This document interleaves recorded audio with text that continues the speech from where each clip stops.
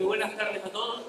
En primer lugar, quiero dar las gracias al personal del Cabildo de Tenerife, especialmente a Nina y a Alberto por permitirme estar aquí con ustedes. Comentarles que yo en un principio he concebido las jornadas de biodiversidad como unas jornadas eminentemente divulgativas y teniendo en cuenta eso, más el hecho de que es una charla planificada para 15 minutos, he intentado ser lo más didáctico posible. Y voy a ir, por tanto, de puntilla sobre los aspectos más técnicos, ¿de acuerdo? Para cualquier aspecto técnico que ustedes echen de menos, podemos hablarlo en los pasillos, si no me he ido a comer antes, o también tienen aquí mi correo electrónico en el cual podemos estar en contacto, cualquier duda, comentario, pues podemos debatirlo, ¿de acuerdo? En primer lugar, me gustaría hacer una pequeña reflexión sobre lo que es el concepto de la biodiversidad, porque llegamos a un punto en el que casi se abusa de ese concepto. Hasta incluso los turoperadores utilizan el concepto de biodiversidad para promocionar cosas como el Loro Parque, por ejemplo. ¿De acuerdo? Si atendemos a las primeras referencias que hay sobre biodiversidad, si no la primera, por lo menos aquel eh, momento a partir del cual el término biodiversidad coge fuerza a nivel global, debemos ir al año 1992 a la Convención de Río de Janeiro, donde se especifica, permítanme que lo lea, que la biodiversidad o diversidad biológica es la variabilidad de organismos vivos de todo tipo, incluyendo, entre otros, los terrestres, marinos y de otros ecosistemas acuáticos, así como los complejos ecológicos de los cuales estos organismos forman parte. Aquí ya se empieza a hablar de complejos ecológicos. En cierta manera se hace referencia a ecosistemas. Como decía mi compañera Patricia Casal, en su charla muy bien explicada, hace referencia a los hábitats naturales. Por otro lado, habla de organismos vivos, variabilidad de organismos vivos. A medida que se incrementa el conocimiento en biología de la conservación, incrementamos nuestro conocimiento de las especies, de la genética de poblaciones, etc., este concepto de biodiversidad va pasando de una mera colección de especies a ya hablar de diversidad a nivel de subespecies, incluso de poblaciones, y por tanto de individuos dentro de las poblaciones. Y llegamos a lo que decía mi compañero eh, José Antonio, sin diversidad genética no hay biodiversidad, ¿de acuerdo? En este punto, quiero hacer hincapié en que, como comentaba Patricia Casar, los ecosistemas o los hábitats tienen que estar conectados entre sí, pero además tienen que estar conectados de una manera funcional. Pues los elementos de la biodiversidad también tienen que estar conectados, interaccionando entre ellos y también de una manera funcional. ¿De acuerdo? Sin embargo, actualmente el enfoque que se suele dar a la biodiversidad está muy centrado eh, en unidades de conservación. Si no hablamos de especies, hablamos de subespecies o de poblaciones, incluso ya utilizando argumentos genéticos, hablamos de unidades evolutivas significativas o de unidades eh, de conservación operativas, ¿de acuerdo? Sin embargo, ¿cuál es el problema? Pues que este enfoque no considera explícitamente la biodiversidad funcional. De la misma manera que es necesario, como decía, que los ecosistemas estén conectados de una manera eficiente y funcional, las especies también tienen que estar, ¿de acuerdo? Y esto, pues, claro, es difícil. Es difícil catalogar los procesos ecológicos, las interacciones entre las especies y de las especies con su medio, ¿de acuerdo? Y por tanto, lo más sencillo y razonable es que los catálogos, las listas rojas, así como las, especies, las estrategias de manejo, se centren en el concepto de especies Esto vale para decir tanto especies subespecies y poblaciones. ¿De acuerdo? Sin embargo, con esta estrategia, si no profundizamos un poquito más en el conocimiento de cómo funcionan las especies en su entorno, corremos un grave peligro, y es el de convertir nuestras islas y espacios naturales en meras colecciones, a veces insostenibles de especies. Meras colecciones que podrían ser casi como la isla de Tenerife, un gran zoológico o un gran jardín botánico. ¿Y por qué insostenible? Pues en primer lugar, imagínense eh, el esfuerzo en producir o en criar en cautividad una especie endémica en peligro de extinción como es el lagarto gigante de la Gomera pero luego los planes de reintroducción, por falta de conocimiento de su ecología, imaginen que no sean lo suficientemente eficaces que se esperan. ¿De qué sirve tener muchos individuos en un lagartario si en la naturaleza tenemos a la orijama, Neochamelea pulverulenta, produciendo frutos enormes que no pueden ser dispersados? Porque no hay un lagarto en la naturaleza que pueda comerlo y dispersarlo. Bueno, sí, está Galodia caesa, que es un lagarto chiquitito, pero si ese lagarto dispersa un fruto de neochamalea, es como si yo dispersara una cebolla y me tendría que ir corriendo urgencia a que me tosen el culo. ¿Vale?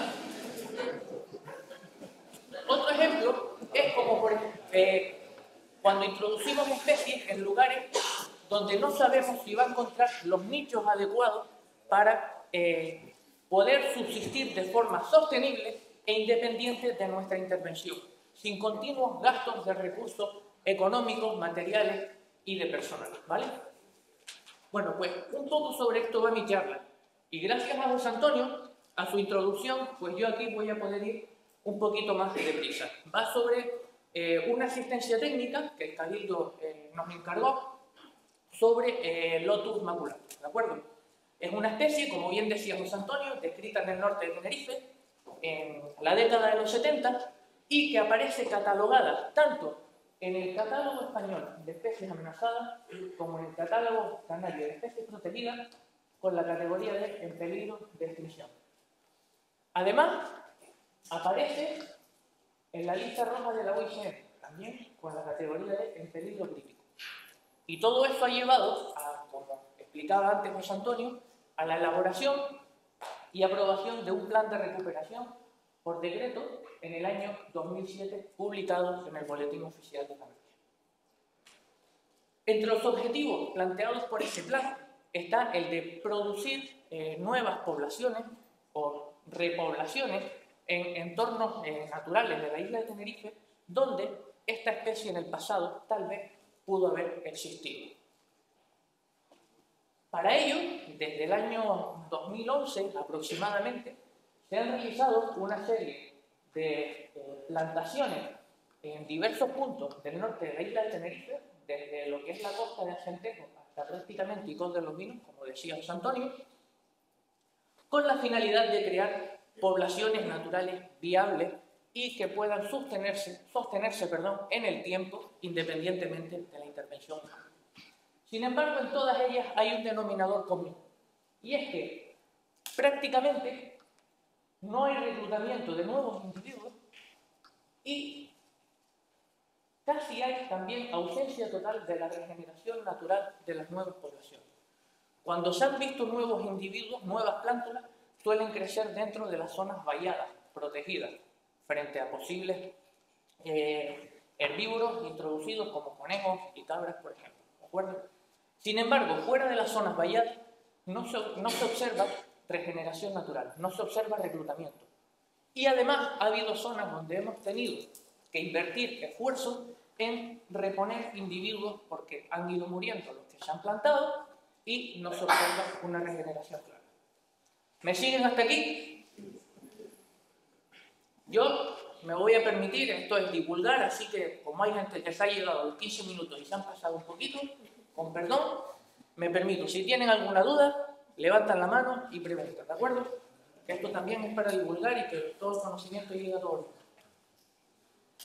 Bueno, la pregunta era si podría haber falta de polinizadores. Eh, claro, se plantean dudas porque mucha gente ha comentado, pero si es que visitan las abejas con mucha frecuencia a las plantas de Lotus maculatus. Además, hay informes técnicos previos que reportan sobre visitas eh, de visitantes florales, valga la redundancia, a flores de Lotus maculatus, como por ejemplo apis abejas solitarias de la familia de los aríctidos, hormigas, etc. Pero la pregunta es, ¿puede un pequeño invertebrado como esto polinizar la flor de Lotus maculatus? Para esto lo primero es plantearse cómo es la forma de la flor, la anatomía de la flor, dónde están los órganos reproductores de la flor. Los órganos reproductores del Lotus maculatus, igual que los de Bertelotti, se encuentran aquí, bueno, de los lotus en general, dentro de la quilla, ¿de acuerdo? Por tanto, es muy poco probable que una especie tan pequeña como la abeja llegue a entrar en contacto, en caso de entrar de forma legítima en la flor, es difícil que llegue a entrar en contacto con las partes reproductoras de la misma. Y además, pueden ver aquí, lo que está haciendo la abeja es una visita ilegítima. Ahí no se está produciendo mutualismo, porque la abeja está obteniendo néctar, pero no está polinizando a la flor, ¿de acuerdo? Sin embargo, si uno trastea un poquito con la flor de Lotus maculatus, como hice yo la primera vez que trabajé con ella, puede ver que cuando se presiona la base del estandarte y la quilla en el sentido de la flecha amarilla, se produce la liberación de polen. Y además hay veces que si la presión es suficiente, el estigma sale de la quilla y queda totalmente expuesto. ¿De acuerdo? Pues bien, la pregunta es, ¿y quién es el polinizador de esta especie? Porque en el año 1982, eh, Jen Olesen proponía que podían haber sido aves las polinizadoras de esta especie, con muy buen criterio. Tal vez se extinguieron y ya no estaban presentes, o tal vez la regresión de la propia especie ha hecho que ya no eh, disminuyan las probabilidades de interacción con los pájaros, ¿de acuerdo? Sin embargo, después de multitud de horas, no hemos visto interacciones de Lotus maculatus con ninguna ave. Sí se ha observado eh, por Jeff Ollerton eh, de individuos de Lotus bertelotti o híbridos de Lotus maculatus y bertelotti con pájaros en el jardín del Drago eh, Nicol de los Vinos, si no me equivoco. ¿Cierto, Felipe? Sí. Y bueno, eh, pero en nuestro caso no hemos llegado a observar esas interacciones con aves. Yo hasta me vi a punto de publicar un anuncio en el periódico tipo Flor bonita y solitaria busca polinizador, pero Después recordé un artículo del año 2012, publicado por Felipe Siberio y Cande Rodríguez, donde eh, comentaban que los lagartos efectuaban visitas legítimas a las flores de Lotus maculatus. Por tanto, serían polinizadores potenciales de esta especie. De hecho, si se fijan, luego han salido imágenes y documentales muy bonitos al respecto. Si se fijan, este lagarto está libando néctar en la flor de Lotus maculatus y aquí tiene una mancha de polen. Y aquí el estigma totalmente expuesto. ¿Significa eso que el lagarto es un polinizador de Lotus maculatus? Bueno, pues eso es lo que tratábamos de elucidar Felipe Siberio y yo en nuestra asistencia técnica para el cabildo, porque para que eso sea así hay que cumplir dos premisas. En primer lugar, que sea capaz de acarrear grano de polen adherido a su, a su cuerpo. Es decir, que este polen, aunque se caiga, entre comillas, todavía haya granos adheridos a las escamas de la piel del lagarto. Y en segundo lugar, que se produzca un contacto físico entre el cuerpo del visitante floral y las partes reproductoras femeninas, particularmente eh, eh, las femeninas porque vean que el polen cae directamente sobre el cuerpo y ahora lo que faltaría es que el estigma entre en contacto con el cuerpo del lagarto, ¿vale? Bueno, nosotros llevamos a cabo nuestro estudio en cinco localidades que pueden ver aquí en esta diapositiva y para testar esas dos eh, ideas, para comprobarlas, primero tratamos de capturar individuos de lagarto con trampas de caída y tomar tomas de muestras con cinta adhesiva para ver si eran capaces de acarrear polen. Una vez capturado el lagarto, se muestreaba con cinta adhesiva la zona de las mejillas, la frente y la parte baja de, la cabeza y pudimos demostrar que ciertamente eran capaces de acarrear polen de lotos maculatos. Pero además, cuantitativamente hablando, en casi todas las poblaciones se capturaron individuos que acarreaban granos de polen adheridos a su cuerpo. Y el número era muy variable, el número de granos de polen por muestra, desde un grano hasta más de mil por cada plaquita de portaobjetos que se analizó. ¿De acuerdo?